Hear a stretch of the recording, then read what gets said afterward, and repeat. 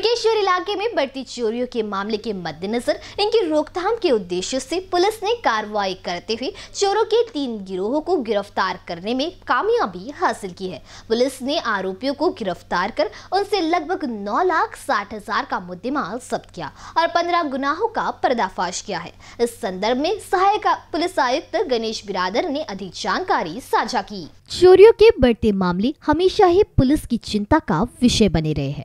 इस बीच हुडकेश्वर इलाके में बढ़ती चोरियों के मामले के मद्देनजर इनकी रोकथाम के उद्देश्य से पुलिस ने कार्रवाई करते हुए चोरों के तीन गिरोहों को गिरफ़्तार करने में कामयाबी हासिल की है।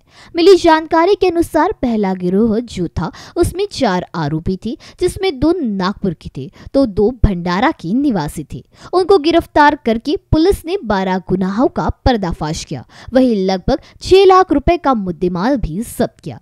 दूसरा गिरोह महिलाओं का है, जिसमें तीन महिलाओं को पुलिस ने गिरफ़्तार किया है। ये महिलाएँ ऑटो रिक्शा से जाते वक्त यात्रियों के बैग से चोरी करती थी। पुलिस ने इन्हें गिरफ़्तार कर दो गुनाहों का पर्दाफाश किया है। वही तीन लाख चौपन हज़ार का मुद्देमाल भी जब्त किया। तीसरे चोरों के गिरोह के चार आरोपियों को पुलिस ने गिरफ़्तार किया। वही एक गुनाह का भी पर्दाफाश किया। इस संदर्भ में सहायक पुलिस आयुक्त गणेश बिरादार ने अधिक जानकारी साझा की। हुडकेश्वर पोलीस स्टेशनच्या अंतर्गत पोलीस उपायुक्त zone four Nurul Hasan sir यांच्या मार्गदर्शनाखाली पोलीस स्टेशनचे इन्चार्ज श्री नेहते आणि डी बीची जे टीम इन्चार्ज आहेत पोलीस उपनिरीक्षक स्वप्नील भुजबळ व सर्व डी बीची जी टीम आहे त्यांनी खूप चांगली कामगिरी केलेली आहे प्रशंसनीय कामगिरी केलेली आहे.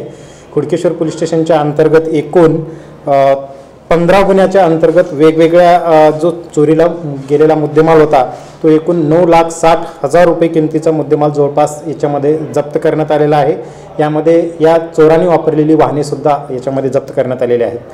महत्त्वाचं याच्यामध्ये जे चोरांनी याची प पद्धत वापरलेली आहे चोरांनी जी टेक्निक वापरलेली आहे त्याचा तांत्रिकदृष्ट्या सी सी टी व्ही पाहून तांत्रिक त्यांचे लोकेशन्स पुरावे काढून तसेच गोपनीय माहितीद्वारे त्यांची जी माहिती मिळालेली आहे त्याच्याद्वारे चोरांच्या तीन वेगवेगळ्या टीम पकडलेल्या आहेत. त्यात पहिल्या टीममध्ये जे चार आरोपी आहेत त्याच्यापैकी चारपैकी दोघेजण नागपूर व दोघेजण भंडाराचे आहेत. त्यांच्याकडून एकूण आपण बारा गुन्हे उघड केलेले आहेत.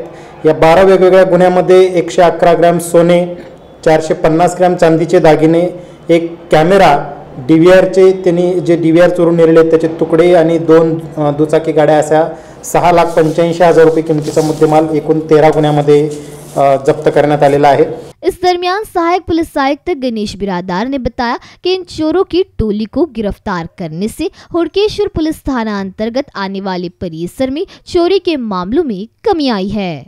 कैमरा पर्सन अखिलेश भारद्वाज के साथ दिशा हटवार बी न्यूज़ नागपुर।